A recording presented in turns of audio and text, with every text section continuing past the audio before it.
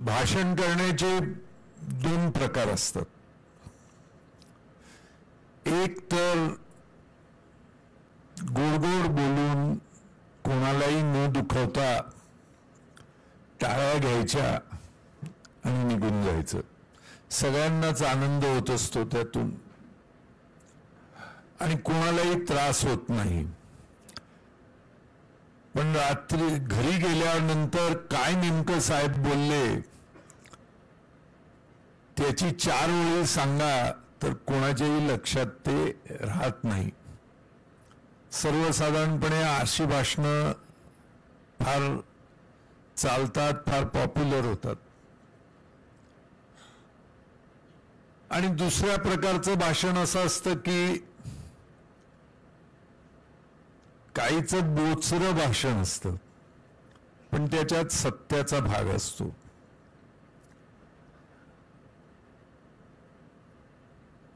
तर पिच बघून बॅटिंग करा असं मला नेहमीच सांगत असतात. त्यामुळे आज तुम्हाला खरं खरं सांगून सांगणं योग्य वाटतंय. का गोड गोड बोलून नेहमीप्रमाणे टाळ्या घेऊन निघून जाणं हे बरं वाटतंय. हा चॉईस तुमच्यासमोर मी देतोय. काय कशा पद्धतीचं भाषण तुम्हाला पाहिजे?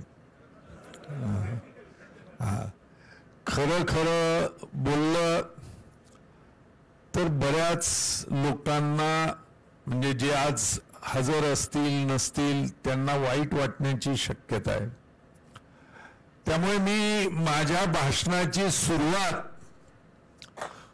कळत न कळत आज मी जे बोलणार आहे ते सत्य बोलणार आहे. आणि त्यामुळे ज्यांना वाईट वाटणार असेल त्यांची सुरुवातीलाच माफी मागतो. म्हणजे पुढे पुन्हा असं का बोलला दिलगिरी व्यक्त करा माफी मागा हे म्हणण्याआधीच सुरुवातीलाच माफी मागितलेली बरी. म्हणजे मग खरं बोललेलं बोलायला मी मोकळा होतो. आता सुरुवात अशी आहे की पुनर्विकास म्हणजे काय? आणि पुनर्विकासाचे प्रकार काय? आणि कशा पद्धतीनं पुनर्विकास करता येतो? हे थोडंसं समजून घेतलं पाहिजे. आता पुनर्विकासात जे शब्द वापरले जातात त्या शब्दांचा अर्थ अनेकांना माहीत नसतो. त्यामुळे ते शब्द म्हणजे कार्पेट एरिया म्हणजे काय? बिल्टअप एरिया म्हणजे काय? सुपर बिल्टअप एरिया म्हणजे काय? एफ एस आय म्हणजे काय? त्यामुळे हे शब्द नेमके कशासाठी वापरले जातात हे थोडक्यात मी मांडणार आहे. आणि मग बिल्डरांची योजना कशी आणि स्वयंविकासाची योजना कशी त्यामधले फरक काय? फायदे तोटे काय? हे समजून सांगणार आहे. एखाद्या खोलीच्या आतमध्ये जाऊन त्या खोलीची लांबी आणि रुंदी मोजावी. लांबी गुणिले रुंदी याला कार्पेट एरिया असं म्हणतात. खोली जर दहा फूट बाय दहा फुटाची असेल तर दहा बाय दहा शंभर फूट कार्पेट एरिया खोलीच्या आतमध्ये जाऊन ती मोजली तर दहा बाय बारा असेल तर एकशे वीस फूट. एका घरामध्ये किती खोल्या खोलीचा एरिया भिंतीसह मोजला तर त्याला बिल्टअप एरिया असं म्हणतात. लक्षात घ्या आपण फसतो याच्यातच फसतो. संबंध आर्ग्युमेंट मध्येच फसतो आणि बिल्डर आपल्याला उत्तमपणे फसवत असतो. आणि आपण फसायलाच जणू जन्माला आलेलो असतो. त्यामुळे बिल्डरला फसवण्याची हौस असते आणि आपल्याला फसवून घेण्याची हौस असते.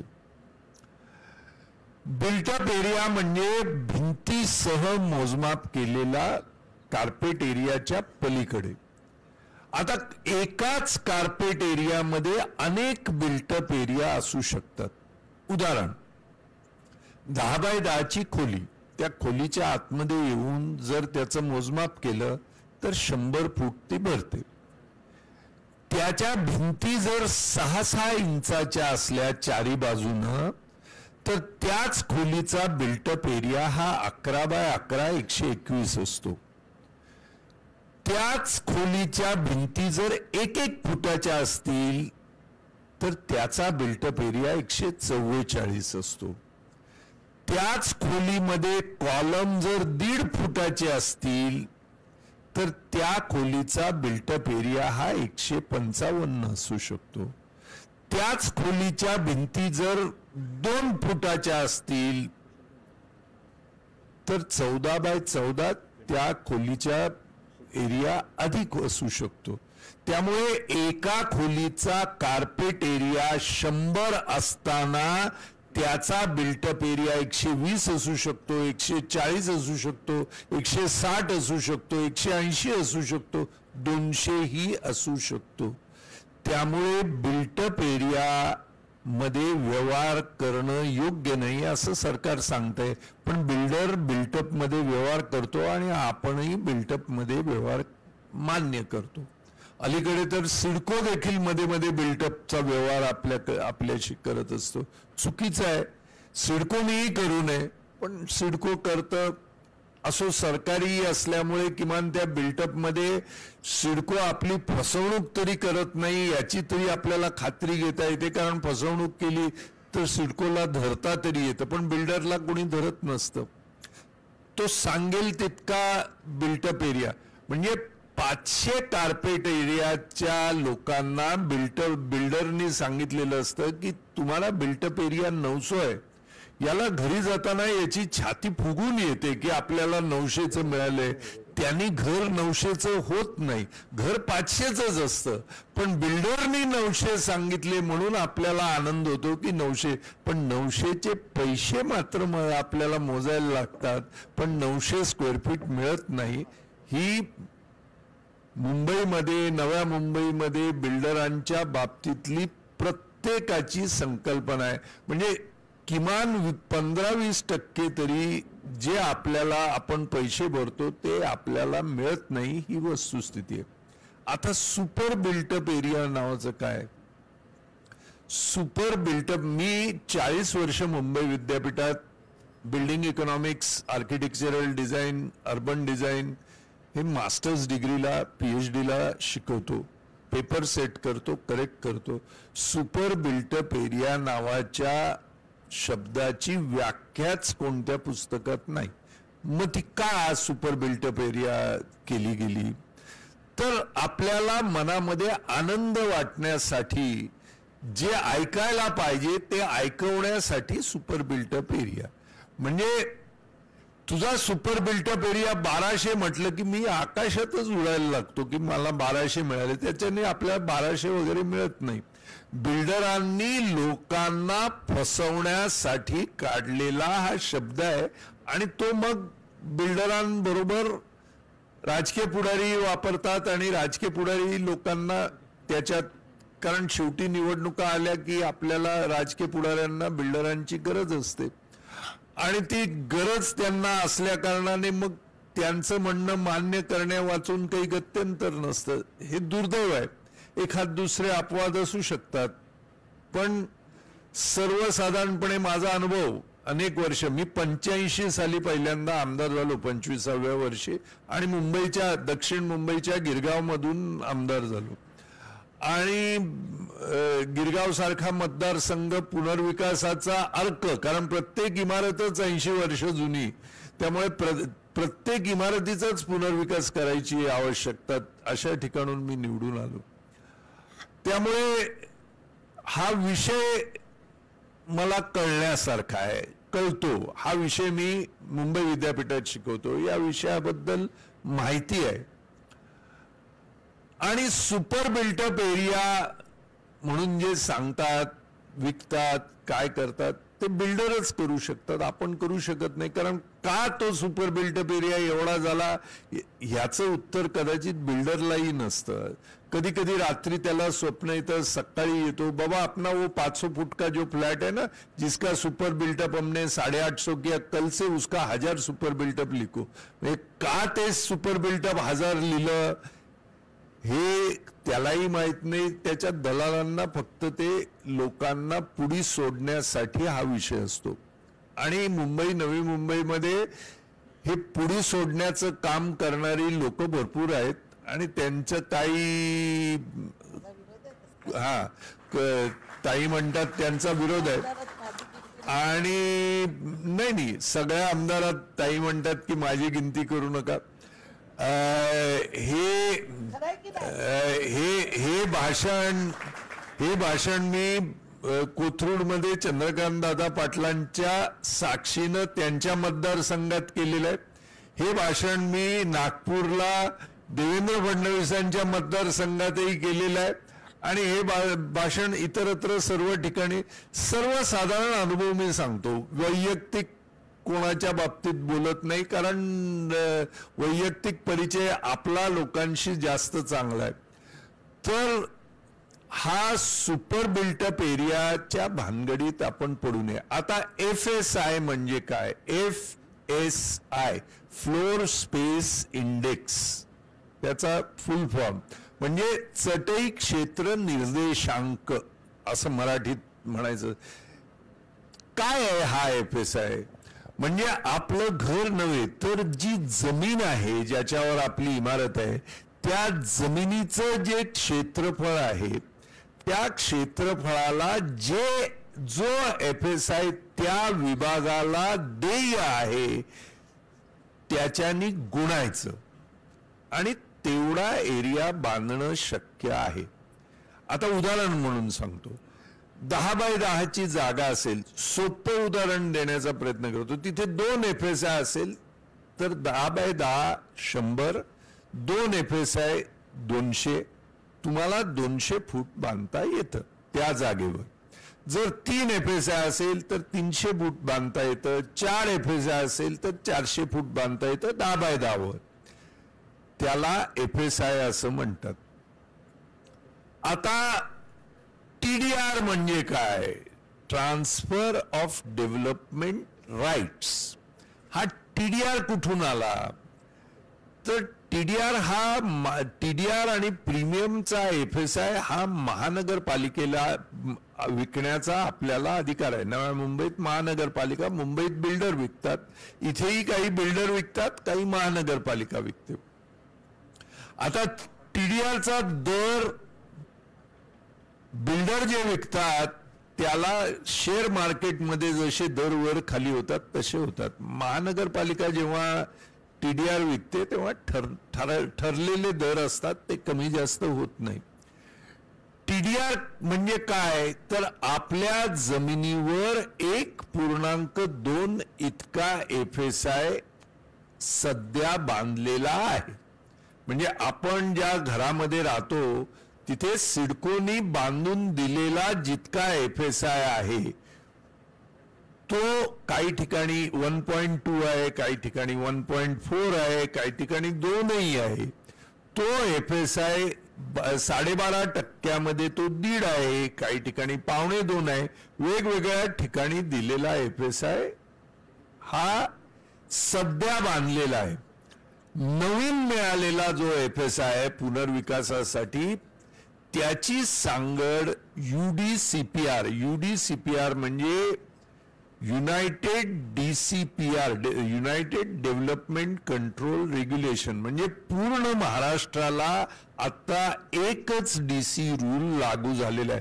पूर्वी नव्या मुंबईला वेगळा पनवेलला वेगळा वसई विरारला वेगळा पुण्याला वेगळा नागपूरला वेगळा नाशिकला वेगळा आता संपूर्ण महाराष्ट्राला मुंबई सोडून बाकी उर्वरित महाराष्ट्राला एकच डी सी पी आर लागू आहे. आणि त्याला U D C P R म्हणतात. कोणाच्याही फोनवर U D C P R दोन हजार चौतीस टू झिरो थ्री फोर तुम्ही जर गुगलमध्ये टाईप केलं तर तुम्हाला सव्वा तीनशे पानाचा युडीसीपीआर मिळतो. त्याच्यामध्ये एफ एस आयचे चार पानं आहेत ती जर तुम्ही डाउनलोड करून घेतली आणि ती नीट वाचली तर तुमच्या इमारतीला तुम्हाला काय मिळतं काय नाही याच्याविषयी सर्व माहिती आहे. म्हणजे आता तुम्हाला कोणाकडे जाऊन कुठे जाऊन माहिती काढण्याची गरज नाही. तुमच्या फोनवरूनच तुम्हाला माहिती मिळते. केवळ ती माहिती मिळवणं आपल्या सभासदांना ती माहिती मिळवून देणं हे काम तुम्ही फक्त करणं आवश्यक आहे.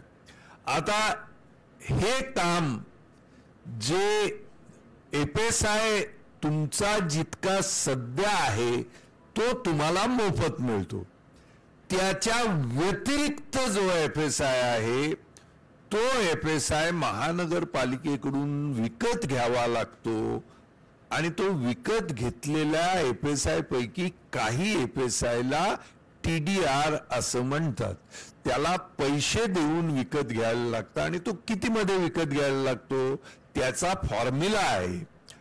वेगवेगळ्या विभागामध्ये वेगवेगळ्या फॉर्म्युलाप्रमाणे तो टी डी आर आपल्याला विकत घेता येतो.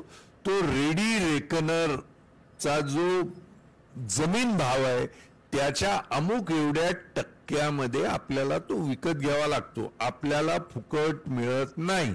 जे सध्या म्हणजे जे आपल्याला सिडकोने बांधून दिलंय किंवा बिल्डरने बांधून दिलेले आहे तो एफ एस आय मात्र आपल्याला फुकट मिळतो. त्याच्या वरचा जो एफ एस आय तो आपल्याला विकत घ्यावा लागतो. त्याला टी डी आर असं म्हणतात. तर लक्षात आलं का? म्हणजे हे पुनर्विकासाकरता ह्या गोष्टी आपल्याला कळल्या पाहिजे. आता एफ एस आयचा आणि बिल्डिंगच्या उंचीचा काय संबंध आहे? तर काहीही संबंध नाही. म्हणजे माझ्या बिल्डिंगीला पंचवीस मजले आले आणि शेजारच्या बिल्डिंगीला चाळीस मजले आले. म्हणजे शेजारच्या बिल्डिंगीला मंदाताईंनी जास्त एफ एस आय दिला. असं कोण जर म्हणत असेल तर ते चुकीचं आहे. जमिनीवरचा एफ एस आय जो सरकारने दिलेला आहे तो तुमच्या रोड वर अवलंबून आहे. रोड जितका तुमचा मोठा रस्ता जर नऊ मीटरचा असेल तर अमुक एवढा एफ एस आहे. बारा मीटर किंवा अधिक असेल तर अमुक एवढा एफ एस आहे. पंधरा मीटर किंवा अधिक असेल तर अमुक एवढा एफ एस आहे. असं प्रत्येक जमिनीला किती एफ एस आहे रस्त्याच्या रुंदीवर तो एफ एस आय अवलंबून आहे. एकदा का एफ एस आय ठरला की जमीन गुणिले एफ एस आय तितका एरिया घेतला त्याच्यावर एक इंच देखील एफएसआय आपल्याला वाढवता येत नाही. जमीन जर दहा बाय दहा फुटाची असेल आणि एफएसआय दोन असेल तर दोनशे फूट बांधता येतं. मग एका मजल्यावर पन्नास फूट बांधले तर चार मजले बांधता येतात. चार गुणिले पन्नास दोनशे. एका मजल्यावर वीस फूट असले तर दहा मजले बांधता येतात. दहा गुणिले वीस दोनशे. एका मजल्यावर दहा फूट असतील तर वीस मजले बांधता येतात. वीस गुणिले दहा दोनशे. एका मजल्यावर पाच फूट असतील तर चाळीस मजले बांधता येतात. चाळीस गुणिले पाच दोनशे. एका मजल्यावर दोन फूट असतील तर शंभर मजली बिल्डिंग बांधता येते. शंभर गुणिले दोन दोनशे.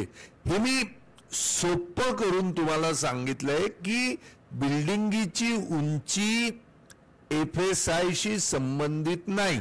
एफ एस आय जो आहे तो तुमच्या जमिनीशी संबंधित आहे आणि मग त्या जमिनीवर किती मजले बांधावे? हे तुमच्या प्लॉटचा जो साईज आहे त्याच्यात फायर ब्रिगेड चारी बाजूनं जाऊ शकेल तेवढी जागा सोडली की उरलेल्या जागेवर जो टावर उभा राहतो तो किती मजल्याचा असावा ते तुमची जमीन किती आहे त्याच्यावर अवलंबून असतं. त्यामुळे त्याला उंच दोन मजले माझ्यापेक्षा अधिक मिळाले. म्हणून त्याच्यावर कुणीतरी मेहरबानी केली आणि माझे दोन मजले कमी झाले म्हणजे मला काहीतरी कमी दिलं असं नाही. एफ एस आय रस्ता तुमचा किती रुंद आहे त्याच्यावर तुमचा एफ एस आय ठरतो आणि तो एफ एस आय कोणालाही बदलता येत नाही. आलं का लक्षात? डीसीपीआर युडीसीपीआरमध्ये जो एफ एस आय तो. आता या एफ एस आयच्या व्यतिरिक्त आपल्याला साठ टक्के टक्के एन्सिलियरी मिळतो. तो विकत घ्यावा लागतो. रेडी रेकनरच्या दराच्या दहा टक्क्यानं महानगरपालिकेकडून एन्सिलियरी एफ एस आय विकत घ्यावा लागतो.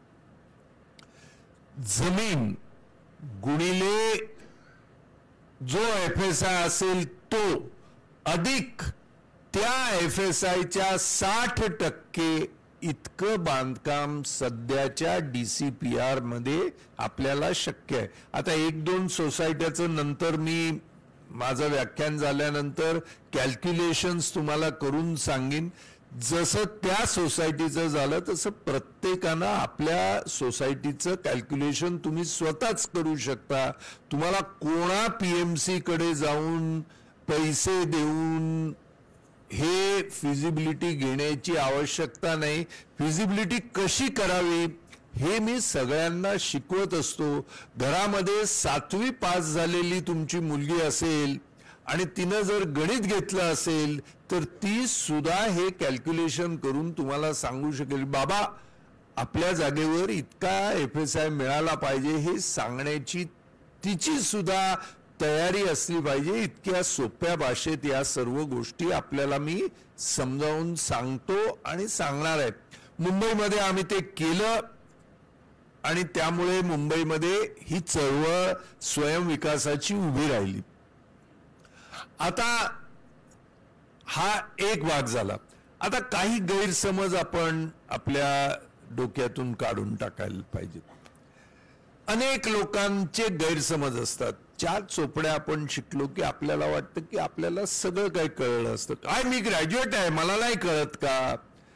आता मी चाळीस वर्ष मुंबई विद्यापीठात हा विषय शिकवतो.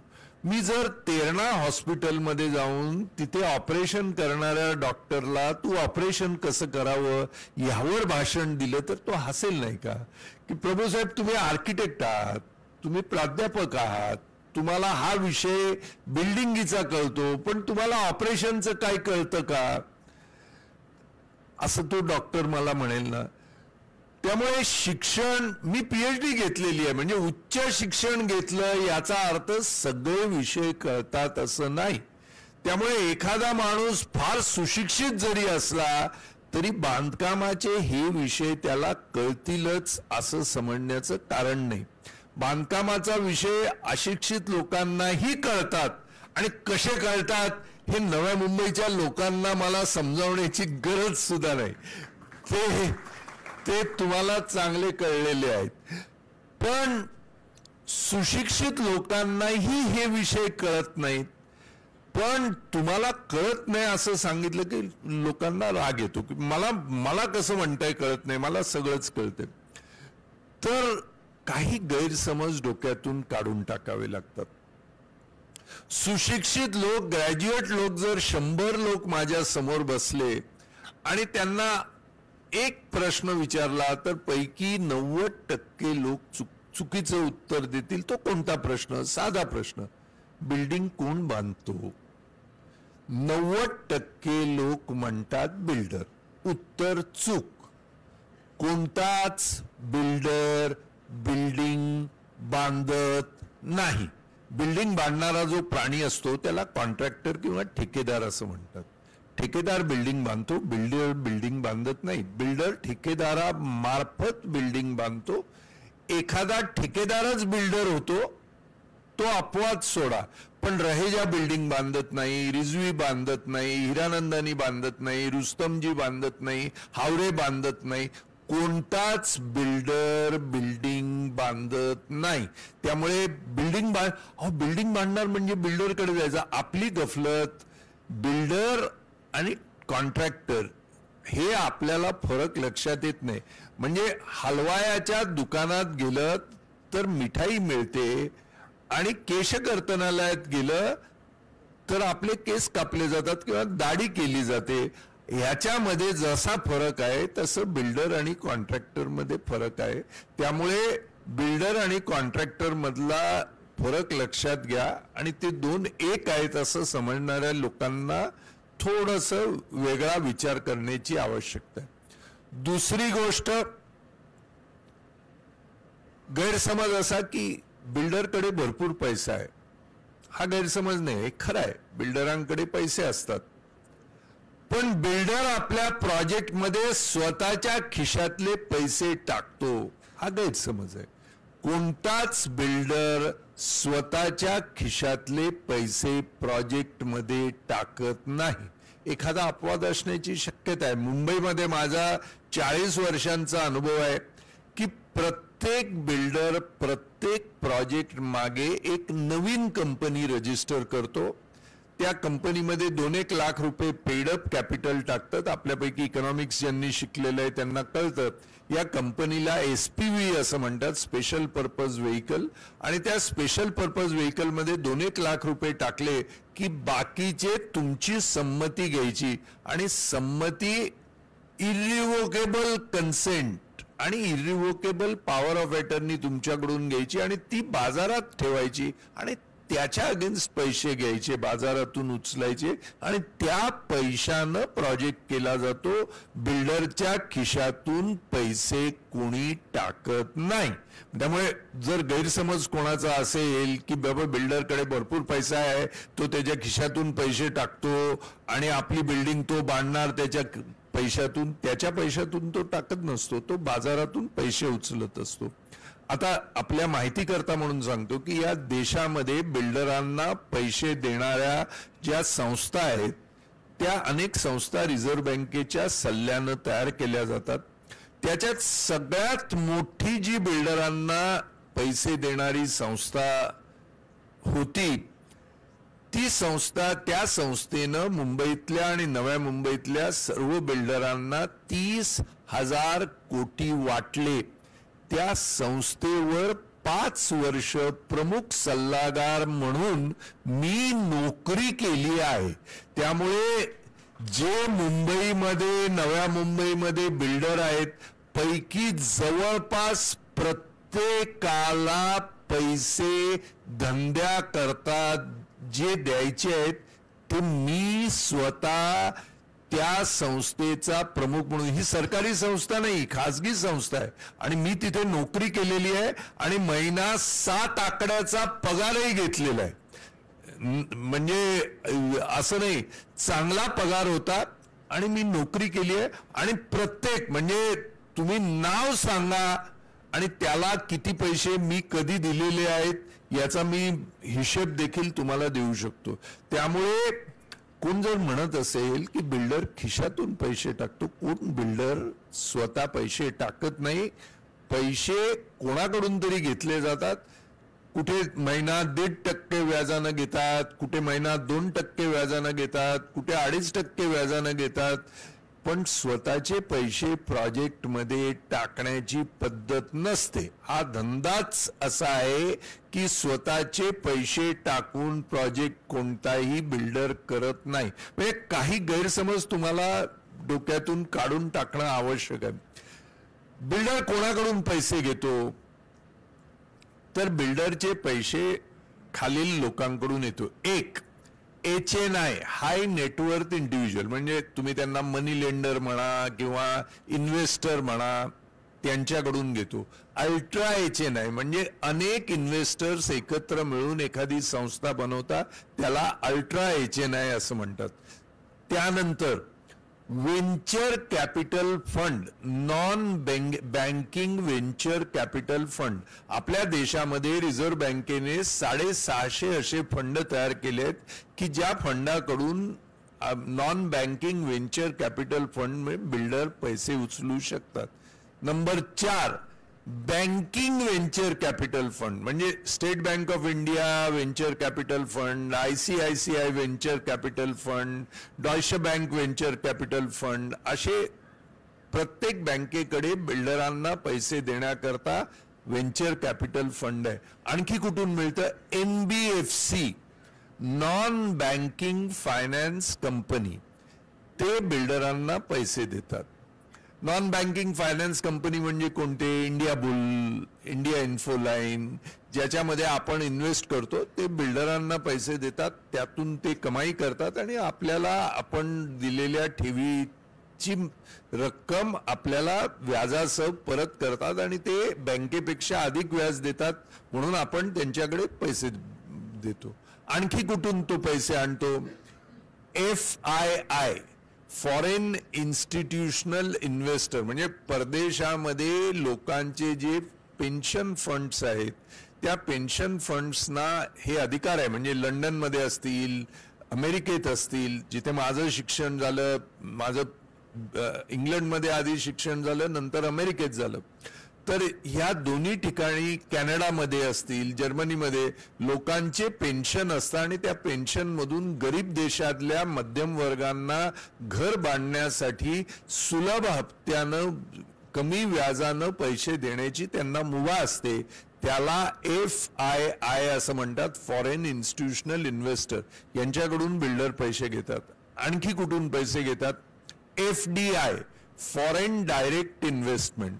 म्हणजे आपल्यापैकी कोणाची मुलं जर परदेशात राहत असतील तर त्यांनी तिथल्या बँकेत जायचं आणि सांगायचं की माझ्या देशामध्ये माझे वडील राहतात तिथे मला घरामध्ये इन्व्हेस्ट करायचं आहे. तर त्याला तीन टक्के साडेतीन टक्के व्याजानं तिथली बँक कर्ज देते. ते डॉलरमधून तो भारतात पाठवतो.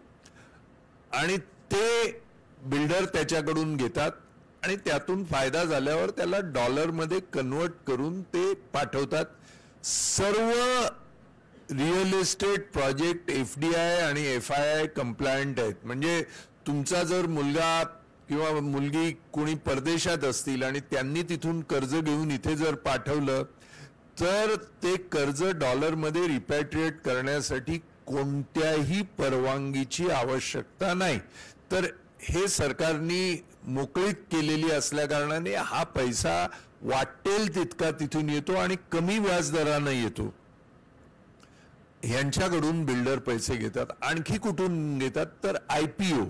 प्रत्येक बिल्डर स्टॉक मार्केटमध्ये स्वतःचं नाव स्वतःच्या नावाची नोंदणी करतो आणि नोंदणी केल्यावर आय पी ओ त्याचा निघतो. आपल्याला बाजारात शेअर मिळतात म्हटल्यावर डायरेक्ट घ्यायचेच. त्याचं काय आगापिच्या काही आपण बघत नाही की शेअर विकत घेतले म्हणजे आपण लगेच मोठे होतो असा अनेकांचा समज आहे. आणि त्यामुळे या बिल्डरांचे आपण शेअर घेतो. त्याच्यावर व्याज आपल्याला मिळत नाही काही मिळत नाही. आठ दहा वर्षानंतर डिव्हिडंड अर्धा टक्का एक टक्का वर्षाला मिळतो. तरी आपण त्याच्यात पैसे देतो कारण त्या शेअरच्या किमती वाढतील असं आपल्याला वाटतं. कधी कधी वाढतातही. आणि तो फुकटचा आपला पैसा त्याला वापरायला मिळतो. तर या सर्व बाबीतून बिल्डर पैसे उभे करतात स्वतःच्या खिशातून पैसे उभे करत नाहीत. एक. त्यानंतरचा गैरसमज असा की बिल्डर बांधकाम जे करतो आपल्याला त्या बांधकाम करण्याकरता बांधकामाचा दर्जा बिल्डर उत्तम देतो. मुंबईचा मी अनुभव सांगतो. आम्ही एक हजार बिल्डिंगी आय आय टी मुंबईच्या विद्यमान टीम तयार केली. आणि बांधकाम ज्या मूळ रहिवाशांना बांधलेल्या घरांचं बांधकाम बिल्डरांनी दिलेलं आहे. म्हणजे तुम्ही सिडकोचं बांधकाम खराब सरकारी बांधकाम खराब हे म्हणता हे खरंच आहे. पण बिल्डरांनी दिलेल्या बांधकामापैकी चौऱ्याण्णव टक्के बांधकाम सी कॅटेगरीचं निघालेलं आहे. हा रिपोर्ट सरकारकडे आम्ही सबमिट केलेला आहे. त्यामुळे आणि बिल्डर नेहमी आणखी एक गैरसमज. है ना रेरा आहे ना. हम कुछ भी गलत करेगा तो रेरा आहे. आज मी जबाबदारीनं जाहीरपणे सांगतो की पुनर्विकासामध्ये मूळ रहिवाशांना रेरा लागू नाही. तुम्हाला कोणत्याही पद्धतीचं रेराकडून प्रोटेक्शन नाही. रेरा कोणा करताय ज्याच्याकडे पैसे आहेत जो बिल्डरकडून आपली घरं बांधून सेलचा जो भाग आहे तो विकत घेईल फ्लॅट त्याला रेरा प्रोटेक्ट करतं. आज पाच वर्ष मी तीन वेळा उपोषणाला बसलो की या रेरा जे मूळ रहिवाशी आहेत त्यांच्याशी बिल्डर करार करतात त्यांना रेरा लागू करा. महाराष्ट्र सरकारने रेरा लागू करावा असं केंद्राला विनंती देखील केली पण आजपर्यंत आम्हाला त्याचं यश आलेलं नाही. महाराष्ट्र रेराचे अध्यक्ष गौतम चॅटर्जी होते रेराचे प्रमुख. त्यांनी बावीस पाणीपत्र महाराष्ट्र राज्याला लिहिलेलं आहे की रेरा तुम्ही केलं सत्त्याण्णव टक्के लोकांना रेराचा फायदा होत नाही. दोन टक्क्यांसाठी मला बसवलं आहे तुम्ही. त्यामुळे याचा फायदा सर्व लोकांना व्हावा. बिल्डर विकत घेणाऱ्याला फसवत नाहीत कारण विकत घेणाऱ्या माणसाला काय अग्रीमेंट वर सही करावी. ते बिल्डर ठरवत असतं. विकत घेणाऱ्याला कधी अधिकार असतात का की या अग्रीमेंटमध्ये काय टाकावं काय टाकू नये? मूळ रहिवाशांशी जे अग्रीमेंट आहे ते बिल्डरनी त्याच्यावर काळडोळा केला किंवा बिल्डरनी त्याचं उल्लंघन केलं तर रेरा त्याच्या बाबतीत कोणतीही कारवाई कायद्यानं करू शकत नाही. कारण रेरा कायदा हा सत्त्याण्णव टक्के लोकांना लागू नाही. तो लागू करावा. याचा अर्थ रेरा असू नये का? नाही. असावा. कायदा आपल्याला पाहिजे. आज आपल्याला लागू नये आपण आंदोलन करू काही करू आणि तो कायदा लागू करून घेऊ. पण कायदा नसल्यापेक्षा असलेला बरा. आणि तो आपल्याला आज न उद्या लागू करून घेणार आहोत. निवडणुकीच्या निमित्तानं हा विषय मात्र आपण प्रत्येक जे कोण मत मागायला येतील त्यांना सांगा की रेरा पुनर्विकासाच्या मूळ रहिवाशांना लागू करावं हे तुम्ही तुमच्या जाहीरनाम्यामध्ये जाहीर करा. हे सांगणं आवश्यक आहे. तर म्हणजे हे गैरसमज. की बघा रेरा आहे आम्हाला काय काही झालं तर रेराकडे जाऊ. रेराकडे आपण गेलो अर्ज केला रेरा म्हणतो नाही तुम्ही कवर्ड नाही आहात. म्हणजे मुंबईमध्ये आमचा अनुभव आहे. आणि मुंबई आणि महाराष्ट्राला रेरा काही वेगळे नाहीत एकच आहे.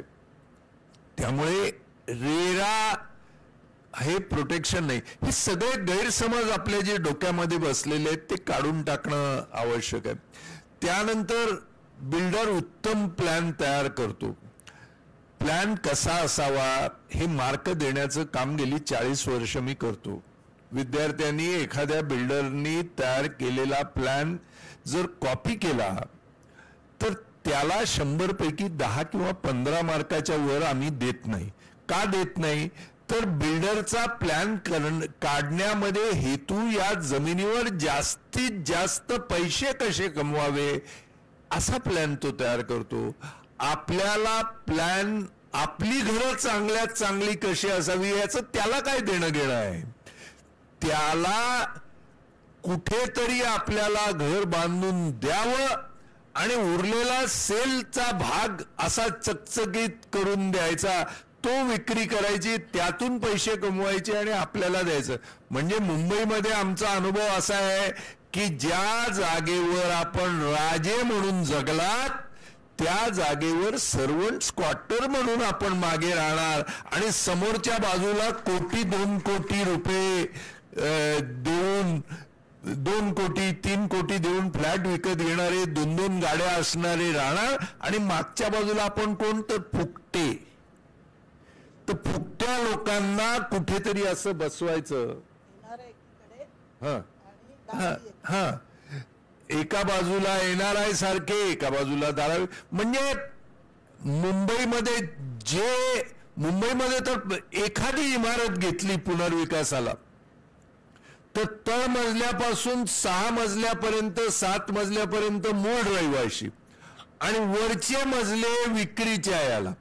आणि गंमत बघा यांची एंट्री वेगळ्या बाजूनं यांची लिफ्ट सहा मजल्यापर्यंतच जाते त्याच्यावर यांची लिफ्ट जातच नाही. आणि त्यांची एंट्री वेगळ्या बाजूनं.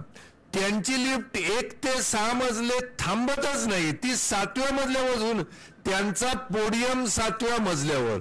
त्याच्यानंतर त्यांचे सगळे म्हणजे त्यांचं विश्व अगदी वेगळं आनंदानं. आणि यांचं विश्व म्हणजे पूर्वीच्या काळात जे चातुर्वर्ण होते तसे चातुर्वर्ण इमारतीत म्हणजे पैसेवाले वरचे आणि फुकटे खालचे हे या पुनर्विकासातून निर्माण केले गेले.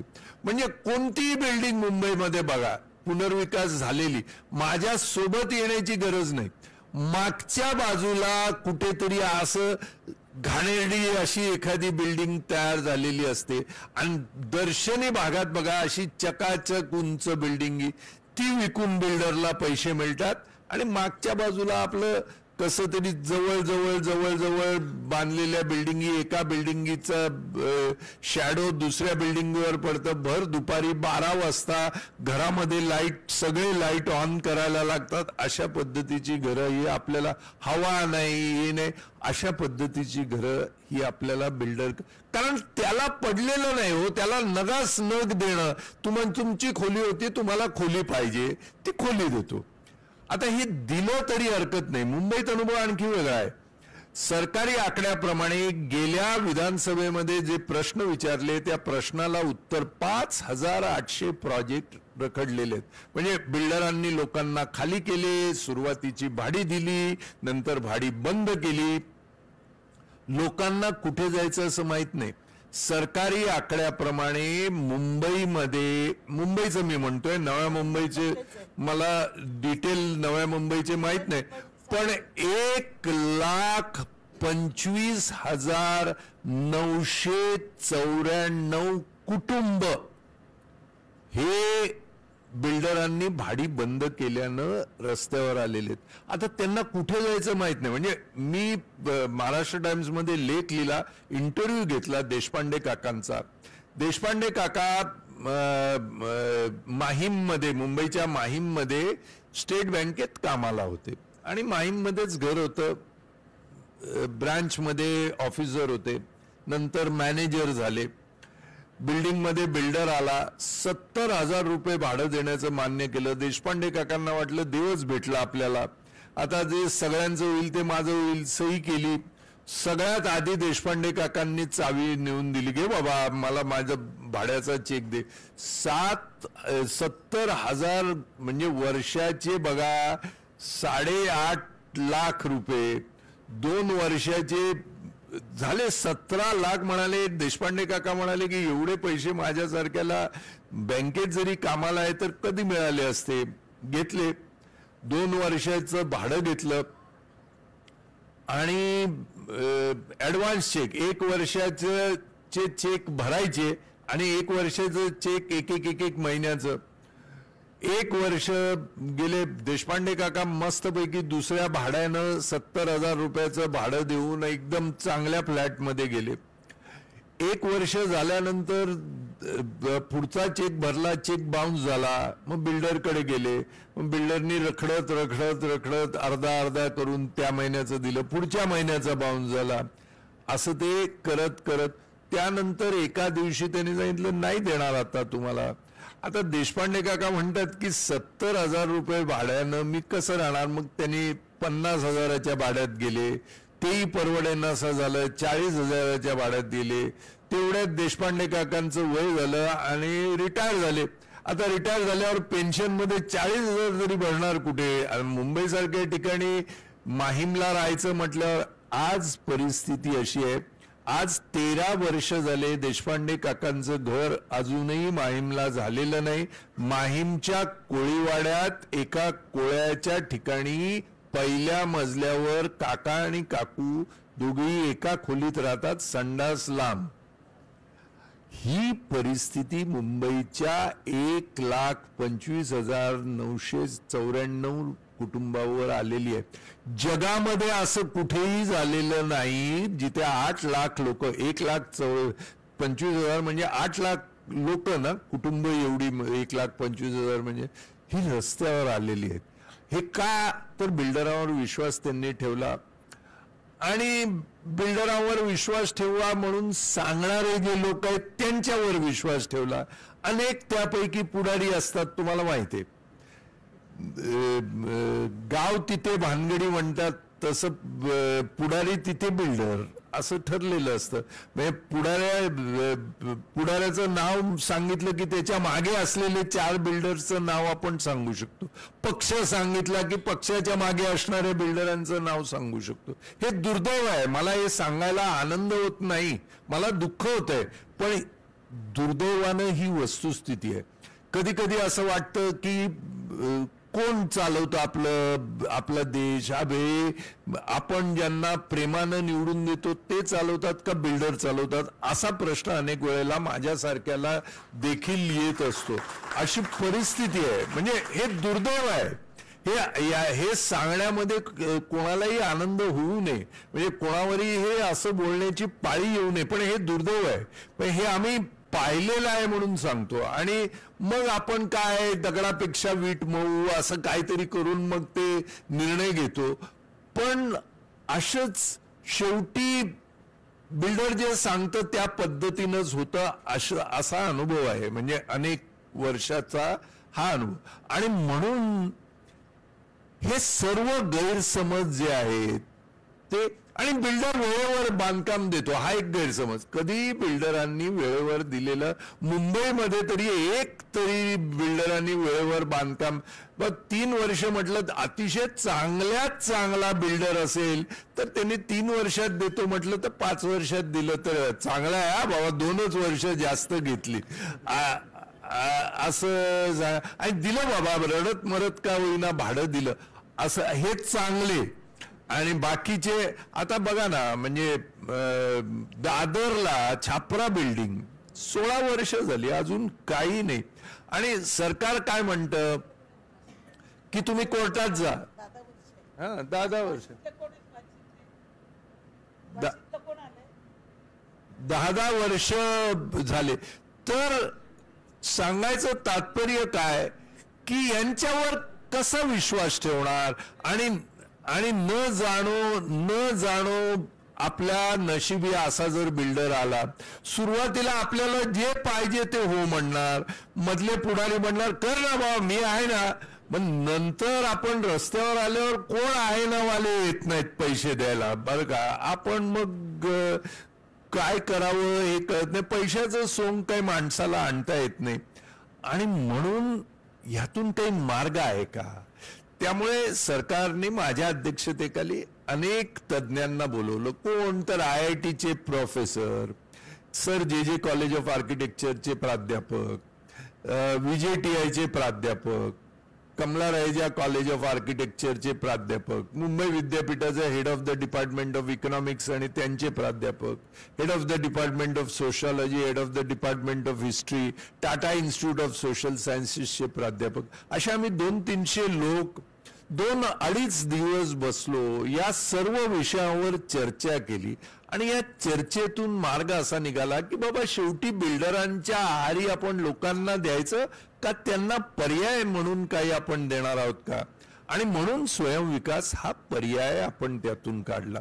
स्वयंविकास हा पर्याय बिल्डरांच्या योजनेला पर्याय पण ह्या ह्या नाटकातली पात्र तीच. बरं का? बिल्डर आर्किटेक्टकडून प्लॅन तयार करून घेतो स्वयंविकासात आपणही आर्किटेक्ट कडूनच तयार करून घेतो. अनेक वेळेला पीएमसी नावाचा एक नवीन प्राणी निर्माण झालेला आहे. आता पीएमसी हे सगळे माझे मित्र कारण माझं जे क्वालिफिकेशन आहे तेच पीएमसीचं क्वालिफिकेशन पण मी महाराष्ट्र टाइम्समध्ये माझ्या लेखांमध्ये लिहिलं आणि मी जाहीर सांगतो की पीएमसी म्हणजे मेंढपाळ. तर पीएमसी म्हणाले तुमचा निषेध करतो तुमच्यावर मोर्चे घेऊन येतो. आम्हाला मेंढपाळ म्हटलं. म्हटलं येशू ख्रिस्त कोण होते? ते मेंढपाळ होते. आमचे श्री कृष्ण भगवान श्री कृष्ण यांनी देखील गायी हाकल्या. त्यामुळे तुमच्या तुम्हाला मेंढपाळ म्हणणं म्हणजे तुमच्यावर काय आम्ही अपमान करतोय अशातला प्रकार नाही. पण मी का मेंढपाळ म्हटलं? याचं म्हणाले माझ्याकडे तुम्ही हे घेतलं नाही स्पष्टीकरण घेतलं नाही. तर तुम्ही आमच्या सोसायटीच्या सभासदांना शेळ्या मेंढ्यांप्रमाणे हाकत हाकत बिल्डरच्या कत्तलखान्यात नेऊन सोडता. आणि मग बिल्डरला सांगता की तुम झटका करणे का तो झटका करो हलाल करणे का तो हलाल करो. हे असे पीएमसी आता मी ज्या संस्थेत नोकरी करत होतो बिल्डरांना पैसे देत होतो त्यावेळेला दर महिन्याला माझ्याकडून एक हजार तीनशे पीएमसी पाकिटं देऊन जात होते. त्यामुळे हे सगळे माझ्या परिचयाचे आहेत. आणि ते येऊन काय साहेब तुम्ही ज्या बिल्डरला पैसे देतात ना त्याच्या बाजूनच मी सगळ्यांना तयार केलेलं आहे. सगळे बोगस आकडे आकडे दिलेले आहेत. आकड्यांमध्ये सगळा घोळ. बांधकामाचा खर्च दुप्पट दाखवायचा. आता विचार करा एका बिल्डरनी बांधकामाचा खर्च चार हजार रुपये पर फूट दाखवलाय. आता आपल्या सगळ्यांना माहिती आहे की अडीच हजार रुपयेपेक्षा जास्त कोण बिल्डर खर्च करत नाही. अगदी फार डोक्यावरून गेलं तर तीन हजार रुपये पर फूट मग चार हजार फूट दाखवायचं? आता ठीक आहे चार हजार फूट निदान फ्लॅट करता तरी दाखवलं. और लिफ्ट करता चार हजार रुपये पर फूट चार बाजूला भिंत बांधायची त्याला एका फुटाला चार हजार कोण देतं का? पण त्यालाही दाखवतात. स्टेअरकेस जिना. अहो जिना हजार सव्वा हजार पर फुटापेक्षा जिन्याचा खर्च येत नाही. त्याला स्टील सिमेंट जे लागतं त्याचं कॅल्क्युलेशन मी करून दाखवलं. की दाखवतो ना तुम्हाला किती लागतं. पण तिथेही चार हजार रुपये पर फूट. और कॉमन पॅसेज चार हजार रुपये पर फूट पार्किंग चार हजार रुपये पर फूट। अरे बाराशे रुपये फुटात कार पार्क फक्त कॉलम आणि स्लॅब असतात त्याला. पण नाही लोकांना दर वाढवून दाखवायचे त्यामुळे आपल्याला मिळालेले पैसे कसे कमी हो मिळतात. त्या मग मग बिल्डर काय म्हणतो? मला काहीच मिळत नाही याच्यातून. पण काय आहे तुम्ही त्या साहेबांच्या माध्यमातून आलात म्हणून मग मी तुम्हाला मदत करतो. अशा पद्धतीनं आणि सगळे आणि मिटिंगा घेणार लोकांच्या सभा घेणार. त्यामुळे फार कठीण आहे म्हणाले स्वयंविकास. कठीण काय म्हणजे तुमचे खिशे भरत नाही म्हणून स्वयंविकास कठीण. लोकांना त्यांचे अधिकार काय हे सांगणं म्हणून आम्ही चुकीचे. आणि तुमचे खिशे भर भरणारी माणसं बिल्डर हे कठीण नाही हे सोपं कारण तुम्हाला सुरुवातीला ऍग्रीमेंट झालं की तुम्हाला पैसे पॉवर ऑफ एटर्नी लक्षात घ्या इरिवोकेबल कन्सेंट आणि इरिवोकेबल पॉवर ऑफ अटर्नी म्हणजे काय? म्हणजे कधी न मागे घेता येणारी अशी पॉवर ऑफ अटर्नी सात फेरे घेतले अग्नीला साक्ष मानून तरी डायव्हर्सची तरतूद आहे. पण याच्याशी करार केला की मी जिवंत असेपर्यंत आणि तू जिवंत असेपर्यंत तूच माझ्या कुंकवाचा धनी. अरे असं कसं? काही मार्ग आहे की नाही? मग आम्ही मुंबईतल्या सत्तर लोकांना घेऊन हायकोर्टात गेलो. आणि ते इरिव्होकेबलची वाट लावली तिथे आणि हायकोर्टानं सांगितलं कसलीच इरिव्होकेबल नाही. जरी तुम्ही अग्रीमेंट केला असेल तुमची फसवणूक होत असेल तर इरिव्होकेबल कन्सेंट घेणं बरोबर नाही. मी सरकारमध्येही सांगितलं की इरिव्होकेबल प्रकार मानू नका. इरिव्होकेबल टू द एक्सटेंट की बाबा त्याने जर त्याची बाजू नीट पाळली तर मग मी कन्सेंट मागे घेणार नाही हे मान्य आहे. पण तो त्याची बाजू पाळणार नाही मला रेवाचं प्रोटेक्शन नाही आणि मी त्याला काढूच शकत नाही. ते काय म्हणतात? गृहनिर्माण संस्था ही खाजगी आहे. बिल्डरची कंपनी खाजगी आहे. दोन खाजगी संस्थेमधले वा वाद सरकार काही करू शकत नाही. तुम्ही सिव्हिल कोर्टात जा. म्हणजे वीस वर्ष झाले. आहेत ते माणसं सगळी मरेपर्यंत त्याचा काय निकालच लागत नाही. तर अशा पद्धतीनं या बिल्डरांकडे जाण्यानं आपलं नुकसान आहे. आणि स्वयंविकासात काय? स्वयंविकासात तीच पात्र. आपण स्वयंविकासात आर्किटेक्टला सांगतो बाबा तू माझा नोकर आहेस. घर माझ्यासाठी आहे. मला कसं घर पाहिजे हे तू तिथे कागदावर दाखवणार. तुला कसं पाहिजे किंवा बिल्डरला कसं पाहिजे असं नाही. आणि माझं वेगळं मला क्वालिटी वेगळी आणि विक्रीला क्वालिटी नाही. जी विक्रीची क्वालिटी तीच मला मिळायला पाहिजे. दोघांची एका लेवलचं अशा पद्धतीनं करायला पाहिजे. पैसे जे बिल्डरकडे जे बिल्डर ज्या ज्या संस्थांकडून घेतात त्या त्या संस्थांकडून आपल्याला पैसे मिळतं. रिझर्व्ह बँकेच्या व्याख्येमध्ये गृहनिर्माण संस्था ही बॉरोवर म्हणूनच नव्हती. त्यामुळे आम्ही दिल्लीला गेलो फायनान्स मिनिस्टरला भेटलो निर्मला सीतारामनला भेटलो रिझर्व्ह बँकेच्या गव्हर्नरला भेटलो आणि व्याख्या बदलून घेतली. पहिल्यांदा इतिहासात रिझर्व्ह बँकेने बरोबरच्या व्याख्यामध्ये व्याख्येमध्ये गृहनिर्माण संस्था ही टाकलेली आहे. त्यामुळे बिल्डरला ज्या ज्या संस्थांकडून कर्ज मिळतं त्या सर्व संस्थांकडून गृहनिर्माण संस्थेला आज कर्ज मिळतं. परदेशातून फॉरेन डायरेक्ट इन्व्हेस्टमेंट दोन टक्के व्याजानं मिळतं. वर्ल्ड बँकेचं कर्ज अडीच टक्के व्याजानं मिळतं. या सर्व गोष्टी तुम्हाला मिळू शकतात. पण या तुमच्यापर्यंत कधीही येणार नाहीत. बाबासाहेब आंबेडकर म्हणाले होते की एवढं एवढी मोठी घटना घटना मी लिहिली पण ती ज्याच्या करता लिहिली त्याच्यापर्यंत ती गेलीच नाही तर काय होणार? त्यामुळे इतकं स्वयंविकासाचं काम आहे पण ते जोपर्यंत सामान्यांपर्यंत पोचत नाही तोपर्यंत काय फरक पडतो? तेरा सप्टेंबर दोन हजार एकोणीसला देवेंद्र फडणवीस राज्याचे मुख्यमंत्री असताना जी आर निघाला. काय म्हणतो तो जी आर?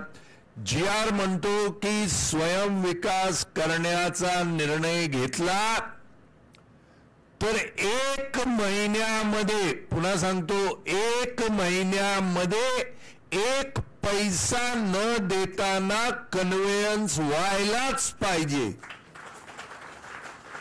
कायदा आहे. पण तो कायदा तुमच्यापर्यंत आला का?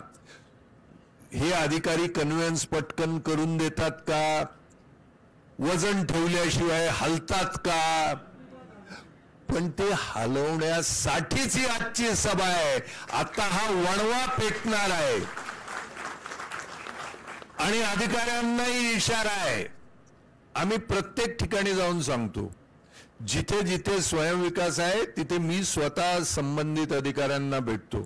म्हणतो बघ बाबा हे स्वयंविकासाच आहे.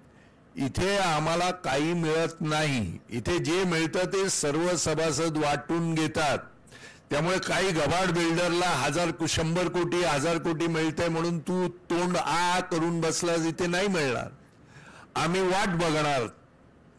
आम्ही तुला रिमाइंड करणार. आणि तू जास्तीत जास्त वेळ घेऊ शकतोस आणखी काही करू शकत नाही. तू जास्त जर त्रास दिला तर चंद्रपूरमध्ये सुंदर वाघ आहेत. तिथे पाठवण्याची व्यवस्था देखील करू. तर त्यामुळे भ्रष्टाचाराला विरोध जर करायचा असेल तर तो स्वयंविकासातूनच होणार. आणि त्याच्याकरता ही हा वणवा पेटवला पाहिजे. आपल्या अधिकाराचं. अरे कोण बिल्डर जागा माझी. घर माझं. जमीन माझी. आणि तो म्हणून येऊन सांगतो तुमको पच्चीस टक्का एक्स्ट्रा अरे तू कोण एक्स्ट्रा देणारा मला चला जागा माझी. मी राहतो. माझं घर आणि मै तेरको इतना. अरे माझ्या जागेवर तू मला सांगतो की मी तुला तू कोण मला देणारा? माझ्या जागेवर मला किती पाहिजे हे मी ठरवणार आणि मी तुला सांगणार की हे मला मिळायला पाहिजे. हा हा फरक मानसिकतेमध्ये आहे. आपण तीनशे वर्ष मुघलांची गुलामी केली दोनशे वर्ष ब्रिटिशांची गुलामी केली आज परत बिल्डरांची गुलामी करणार आणि त्यांच्या दलालांची गुलामी करणार ही गुलामी आपल्याला चालणार नाही. आपण आता निर्णय घ्यायचा आहे की नाही हे चालणार? आता काय स्वयंविकासात झालं? तर मुंबईचे मुंबईत वीस स्वयंविकासाचे प्रोजेक्ट पूर्ण झालेले आहेत. चाळीस प्रोजेक्ट विविध स्तरावर आहेत. कुठे चार मजले झाले कुठे आठ मजले झाले बांधकाम चालू आहे. सत्तर प्रोजेक्टचे प्लॅन मंजूर झालेले आहेत. आणि सातशे नव्वद सोसायट्यांनी स्वयंविकासाचा ठराव मुंबईमध्ये मंजूर केलेला आहे. नव्या मुंबईमध्ये आत्ता माझ्या आत्तापर्यंत माझ्या दहा बारा सभा झाल्या. अठ्ठेचाळीस सोसायट्यांनी स्वयंविकासाचा ठराव मंजूर केलेला आहे. नव्या मुंबईमध्ये पनवेलमध्ये तीस सोसायट्यांनी ठराव मंजूर केलेला आहे. त्यामुळे ही ही चळवळ आता सर्वत्र जाते आहे. त्या चळवळीची वाढ फार मोठ्या प्रमाणात होते आणि जिथे जिथे मी जातो लोक उत्स्फूर्तपणे येऊन सांगतात की साहेब तुम्ही या. आणि पुढची तीन महिने शनिवार रविवार सोडा. रोज संध्याकाळी अकरा वाजेपर्यंत वेगवेगळ्या ठिकाणी जाऊन सभा घेतो आणि कुठून कुठून लोक येतात आणि लोकांची गर्दी अशी होते. मलाच कळत नाही की बाबा हे लोक कुठून इतके मोठ्या प्रमाणात आले. ते माझ्या काय माझ्याकरता येत नाहीत. स्वतःचे अधिकार इतके दिवस त्यांना माहीत नव्हते. ते सांगणारा कोणतरी सापडलाय म्हणून. तर हे वीस कुठे कुठे झालेत? हे सांगण्याऐवजी त्याचे त्यातले दोन मी अनुभव सांगतो वीस सांगितले तर भूक लागेल तुम्हाला तोपर्यंत दुपार होऊन जाईल. दोनच अनुभव देतो तुम्ही कधीही जा म्हणाल तर इथून बस तयार करून त्या बिल्डिंगी तुम्हाला दाखवतो. चेंबूरला टिळकनगर स्टेशनच्या बाहेर चित्रा सोसायटी आहे. शेल कॉलनीमध्ये चित्रा सोसायटी आहे. तीनशे ऐंशी स्क्वेअर फीट कार्पेट एरिया. चोवीस बिल्डरनी अर्ज केले. कोण साडेचारशे म्हणतो देतो म्हणतो तीनशे ऐंशीच्या ठिकाणी. इथे जसं म्हणतात की पंचवीस टक्क्यापेक्षा अधिक काही देता येणार नाही. कोण साडेचारशे म्हणत होता कोण पावणे पाचशे म्हणत होता कोण चारशे साठ म्हणत होता कोण चारशे पंच्याऐंशीची बोली लावतो कोण चारशे नव्वद कोण पाचशे शेवटी पाचशे दहावाला सगळ्यात हायेस्ट आणि दोन लाख रुपये कॉर्पस लोक इतकी खुश झाली की देवानेच पाठवलेला हा बिल्डर आहे पाचशे दहा आणि दोन लाख रुपये कॉर्पस जेसीबी भरून फुलं घेऊन या म्हणले त्याच्या त्याच्याकरता. ते एक कोणतरी वेडा होता आमच्या दत्तांसारखा. तो म्हणाला चंद्रशेखर प्रभूंना विचारूया की बरोबर आहे. म्हटलं तुमची फसवणूक होते. तर म्हणाले आमची फसवणूक एवढं पाचशे दहा बाकी एकही बिल्डर देत नाही. म्हटलं हे सगळे मिळालेले आहेत. एकमेकांचं ठरवूनच तू किती भरतोय? चारशे दहा हे मिलीजुली कुस्ती आहे म्हणाले. तू म्हणाले तुम्ही किती देणार? म्हटलं मी काहीच देणार नाही. जे देणार ते तुम्ही स्वतःच करणार. मग त्यांना समजावले दोन चार सभा झाल्या. आज त्यांची बिल्डिंग ते बिल्डिंग इथून गेले भाड्यानं राहिले. अगदी कोविडमध्ये दीड वर्षात त्यांची बिल्डिंग उभी राहिली. आज पंचवीस मजल्याच्या बिल्डिंगमध्ये ते राहतात. आणि त्यांची बिल्डिंग पूर्ण झाली ते राहायला आले ओसी दिली आणि जे मुंबई बँकेकडून कर्ज घेतलं होतं ते राहायला येण्याच्या सहा महिन्याच्या आत एक एक पैसा मुंबई बँकेचा जो दहा वर्षात भरायचा होता तो सहा महिन्यात फ्लॅट विकले की मुंबई बँकेचं वेगळं करून टाकलं. आज ते कर्जमुक्त झाले. त्यांनी कर्जमुक्तीचे इंडिपेंडन्स डे परवा पंधरा ऑगस्टला साजरा केला की कर्जमुक्तीचा दिवस आमचा हा स्वतंत्रता दिवस झाला. आता ज्यांनी माझे व्हिडिओ बघितले असतील ते या प्रश्नाला उत्तर देऊ नका पण ज्यांनी बघितले नसतील ते द्या. तीनशे ऐंशी स्क्वेअर फीट त्यांचं सध्या होतं. बिल्डर पाचशे दहा द्यायला तयार होता. स्वयंविकासात त्यांनी बिल्डिंग बांधली. किती एरिया मिळायला पाहिजे कोण सांगू शकेल? एक अंदाज. सहाशे आणखी कोण? सातशे आठशे आठशे पन्नास. बघा लोकांना लोकांच्या बाराशे पन्नास स्क्वेअर फीट कार्पेट एरिया त्यांच्याकडे आहे. तुम्ही तिथे जाऊन जाऊन बघा. मी काही चुकीचं सांगत असेल इथले बसलेले सर्व पदाधिकारी तिथे जाऊन तुम्ही जाऊन आलेला आहात ना प्रवीण? जाऊन इथले अनेक लोक तिथे जाऊन आलेले आहेत. हे एक उदाहरण. दुसरं उदाहरण असे वीस उदाहरणं मी देतो हे पूर्ण झालेल्या बिल्डिंगी मी सांगतोय. आता आणखी सहा महिन्यात मी सर्व बिल्डिंगी तुम्हाला शंभर एक बिल्डिंग मुंबईत दाखवू शकेन. दुसरं पूर्वरंग मुलुंडला तुमच्यापासून फार लांब नाही. मुलुंडला मिठागरात मुलुंड पूर्व कोण फ्लॅट विकत घेत नाही काय घेत नाही पस्तीस मजल्याची बिल्डिंग उभी केली. आणि तीनशे सत्तर स्क्वेअर फीटच्या ठिकाणी अकराशे पन्नास स्क्वेअर फीट त्यांना मिळालेलं आहे. आणि पंचवीस लाख रुपये प्रत्येकाला कॉर्पस मिळालेला आहे.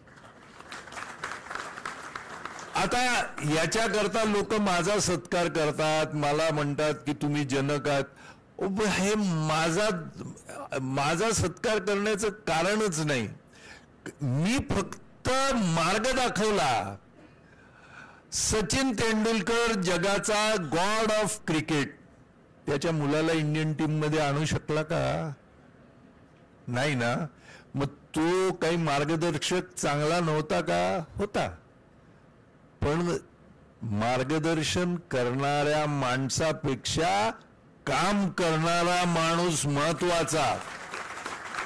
आणि त्यामुळे मी किती मार्गदर्शन तुम्हाला करेन तुम्ही जोपर्यंत तुमच्या लोकांना तयार करून स्वयंविकासाची तयारी करत नाही तोपर्यंत माझ्या मार्गदर्शनाचा काय फायदा आहे हो? सत्यनारायणाची महापूजा मुलगा शिकत नाही तरी महापूजाच टाकायची नाही लग्न होत नाही तरी महापूजाच टाकायची आणि नोकरी लागली तरी महापूजाच टाकायची.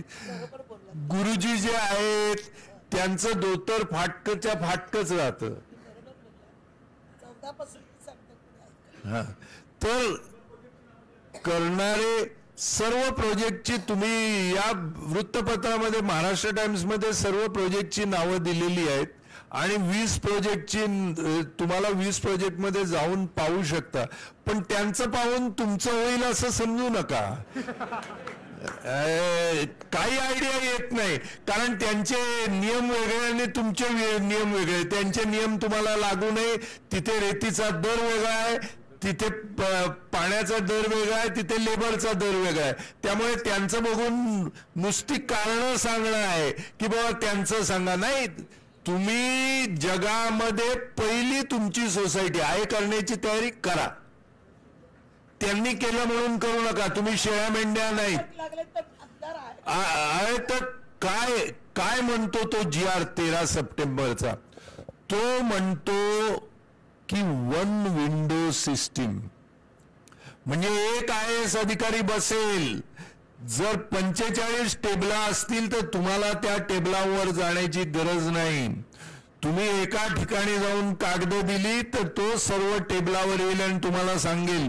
आणि जर सहा महिन्यात पूर्ण नाही झालं तर तो तुम्हाला सांगेल की सहा महिन्यात माझ्याकडून पूर्ण नाही झालं डीम्ड अप्रुव्हल तुमचे सर्व परवानग्या मिळाल्याचं समजून घ्या.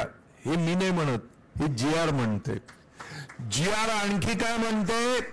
की तुम्ही जर कर्ज घेतलं मुंबई बँकेकडून किंवा आणखी कोणत्या बँकेकडून तर साडेबारा टक्के व्याज असेल त्याच्यात तुम्ही फक्त आठ टक्के भरायचे चार टक्के व्याज सरकार भरील. नंबर नंबर तीन जर बिल्डरकडे तुम्ही गेलात तुमच्याकडे आज दोनशे फूट आहे बिल्डरनी समजा तीनशे दिले तर शंभर फुटाच्या बाजार भावाच्या दरानं तुम्हाला स्टॅम्प ड्युटी भरायला लागते. तुम्ही जर स्वयंविकास केलात तर शंभरच्या ठिकाणी आमच्या चित्रा सोसायटीमध्ये तीनशे ऐंशीच्या ठिकाणी बाराशे पन्नास पण स्टॅम्प ड्युटी किती भरली? विचार करा तीनशे ऐंशीच्या ठिकाणी बाराशे पन्नास झाले म्हणजे त्यांच्यावर स्टॅम्प ड्युटीच कमीत कमी वीस लाखाचे आले असते. त्यांनी किती भरावे? एक हजार रुपये फक्त. कितीही तुमचं घर वाढलं तरी स्टॅम्प ड्युटी केवळ एक हजार हे स्वयंविकासात हे कोणत्या बिल्डरला मिळणार नाही. त्यानंतर तुम्ही जो जीएसटी भरता त्याच्यात तुमच्या भागाच्या जीएसटीत माफी. त्यानंतर त्याने हे सांगितलंय की तुम्ही टीडीआर जो विकत घेता महानगरपालिकेकडून प्रीमियम जे भरता एनसिलियरीला त्याच्यात पन्नास टक्के सवलत. हे हे सगळं सेल्फ रिडेव्हलपमेंटलाच मिळतं बाकीच्यांना मिळ अशा बावीस गोष्टी आहेत त्या जी आरमध्ये. आता हा जी आर दोन हजार एकोणीस साली आला. पण कुणी त्याचा ज्या पद्धतीनं त्याची अंमलबजावणी करायला पाहिजे होती त्या पद्धतीनं अंमलबजावणी केली नाही. का केली नाही? तर शाप आहे आपल्यावर. तर कोण म्हणालं की तुम्ही आमच्या लोकांना शाप आहे म्हणून सांगता? मी मी रामायणातली कथा सांगितली. दोन मिनटं रामायणाकरताही आपण देऊया. की श्रीराम सीतेच्या शोधात सबंध देश फिरले. आणि कुठेही सीतामाईचा शोध घेऊन कुठे काही त्या दिसल्या नाही तर सबंध सेना घेऊन शेवटी पोचले कन्याकुमारीला. ते म्हणाले इथे तर देश संपला. इथे समुद्र आहे. आता कुठे शोधणार सीतामाईला? तर कुणीतरी सांगितलं की नाही हा देश संपला नाही. आता या समुद्राच्या पलीकडे एक श्रीलंका आहे. तिथे आपण शोध घेऊ. तर म्हणे कोण जाणार? इतका मोठा समुद्र तिथे आहे की नाही? असेल तर जाण्याचा काहीतरी मार्ग काढू. पण आहे की नाही हे बघायला कुणीतरी जाऊन पाहायला पाहिजे. तर लक्ष्मण म्हणाला आहे ना आपला हनुमान. तर हनुमान हात जोडून म्हणाले की प्रभू रामचंद्र मी तर एक यत्किंचित वानर आहे. माझ्याकडून तुम्ही जे म्हणाल ते मी करीन पण मी उडी मारली तर समुद्रात बुडून मरून जाईन. मी एक यत्किंचित वानर माझी ताकद किती? माझ्यात हे किती माझं मी कसं काय सात समुद्र पार करू शकेन? तेव्हा प्रभू श्रीराम हसले आणि म्हणाले तू वानर नाहीस पण तू शाप तुला शाप आहे. म्हणजे काय शाप? तू पवनपुत्र आहेस. तू जन्मता क्षणीच तुझी ताकद इतकी होती की सबंध जग पृथ्वी हालायला लागलं. आणि जन्मता क्षणीच तू सूर्यावर चाल करून गेलास की जगाचा प्रमुख कोण तर सूर्यदेव त्याच्यावर चाल करून गेला त्यामुळे सगळे इतके घाबरले की जन्मता जर हा पवनपुत्र सूर्यावर चाल करून जाईल तर हा काय करेल त्याच्या बालवस्थेत? म्हणून तुला शाप दिला होता इंद्रदेवानं की तुझी ताकद तू विसरशील. मग पवनपुत्राची हनुमानाची जी आई आहे अंजना अंज तिने जाऊन इंद्राची विनवणी केली. इंद्रदेव हा तर पवनपुत्र आहे याला तुम्ही असा शाप नाही देऊ शकत. तर इंद्र म्हणाला की हा शाप कायमचा नाही आहे हा शाप ह्याच्या बालवस्थेत यांनी कोणती चुकीच्या गोष्टी करू नये म्हणून याला प्रोटेक्शन करण्यासाठी याला संरक्षण देण्यासाठी हा शाप आहे. हा ज्या वेळेला तारुण्यात येईल त्यावेळेला याला प्रभू श्रीराम भेटतील आणि नंतर ते त्याला शापमुक्त करतील आणि तो मग खरा हनुमान होईल. आणि ह्याची आठवण करून प्रभू श्रीराम त्याला शापमुक्त करतात. आणि मग त्याची खरी ताकद काय जी शापामुळे त्याला आठवत नव्हती ती आली. आणि नंतरचं रामायण तर सगळ्यांना माहीत आहे. तस सर्व रहिवाशी शापात आहेत. ते शापमुक्त करण्याची आवश्यकता की तुमची ताकद काय आहे? की ही ताकद आहे ही तुमची ताकद आहे तुमच्या जागेची ताकद आहे तुमच्या याची आहे. पण हे तुम्ही विसरलात की माझी ताकद काय आहे ही मी कशी वापरू शकतो हे तुम्ही विसरलात. जी आर येऊन पाच पाच वर्ष झाली तरी तुम्ही जागे होत नाही. कारण तुम्हाला कोणीतरी सांगतं तुम्ही अरे मैं हूं ना। मी आहे ना बाबा मी करतो ना तुझं काय असेल ते. पाठवतो तुला माझ्या कोणा माणसाकडे. मी करतो. आणि दुसरा कोण? अतिशय विद्वान आणि हुशार माणसं. फार कठीण आहे. अरे तुम्ही सत्तेत होता तुम्ही पदावर होता नोकरी करत होता तेव्हा काय काय कठीण कामं केली ते आम्ही काढलं तर कळेल जगाला तुमची काय कठीण कामं दाखवता येते आम्हाला सांगताय कठीण कामं? म्हणजे काही लोकांनी सांगितलं स्वयंविकास होऊ शकतो चांगला आहे पण कठीण आहे. अरे काही कठीण नाही. करायचं म्हटलं तर करू शकतो. तुम्ही मला सांगा की बिल्डर पंचवीस टक्क्यापेक्षा अधिक देत नाही. स्वयंविकासात कुठेही साठ साठ टक्क्यापेक्षा कमी आम्ही दिलेलं नाही. तर एक खोली दोन खोली जर बिल्डर देतो त्यापेक्षा अधिक मिळत असेल तर वीस हजार रुपये पर स्क्वेअर फीट नाही पंधरा हजार रुपये पर स्क्वेअर फीटनी दोन खोल्या म्हटल्या तरी तीस लाख रुपये. आयुष्यभर नोकरी करून प्रॉव्हिडंट फंड ग्रॅज्युटी तीस लाख रुपयाची कधी मिळते का कोणाला मला सांगा? मग आयुष्यभर नोकरी करून जे मिळत नाही ते एका पुनर्विकासात तुमच्या प्रॉपर्टीमध्ये जर वाढ होत असेल पुढच्या पिढीला तुम्ही जास्त मोठं घर बिल्डर देतो त्यापेक्षा उत्तम प्लॅन बिल्डर देतो त्यापेक्षा चांगलं बांधकाम बिल्डर देतो त्यापेक्षा अधिक एरिया बिल्डर देतो त्यापेक्षा जास्त कॉर्पस आणि खात्रीलायक बांधकाम आणि वेळेवर बांधकाम हे तुम्ही स्वयंविकासात करू शकता. हे मी येऊन करणार नाही हे तुम्ही करणार. तर हे तुम्ही करण्यासाठी तयार आहात का नाही हा खरा प्रश्न आहे. मुंबईत ही पूर्ण चळवळ मोठ्या प्रमाणात वाढलेली आहे. ती आता नव्या मुंबईतही वाढते. पण काय असतं की कधी कधी रोगाची लागण फार लवकर होते. अनेक रोग असतात. बरं का मी गमतीनं म्हणतो की रोगासाठी माणसाला कुणीतरी चावावं लागतं. मच्छर चावला की डेंगू? मच्छर चावला की काय आपलं मलेरिया. उंदीर चावला की प्लेग. कुत्रा चावला की पोटा रेबीज पोटात इंजेक्शन घ्या. म्हणजे माणसाला आजारी पडण्यासाठी कोणीतरी काहीतरी चावावं लागतं. आजकाल नव्या मुंबईमध्ये नवीन रोग झालेला आहे. बिल्डेरिया. तिथे माणसाला बिल्डर चावतो.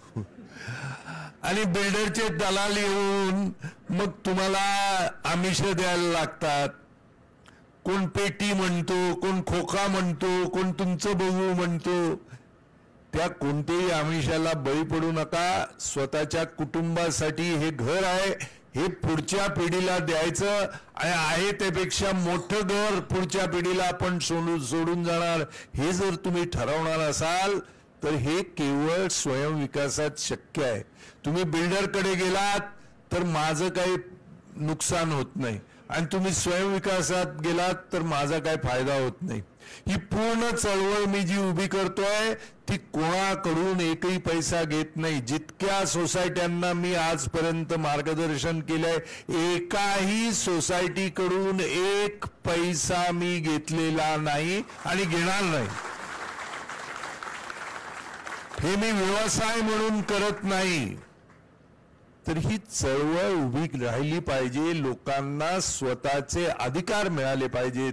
तुमच्या जमिनीवर तुमचे अधिकार आहेत आणि ते तुमचे अधिकार पुढच्या पिढीला मिळाले पाहिजेत. हे करण्यासाठी हा विषय आहे.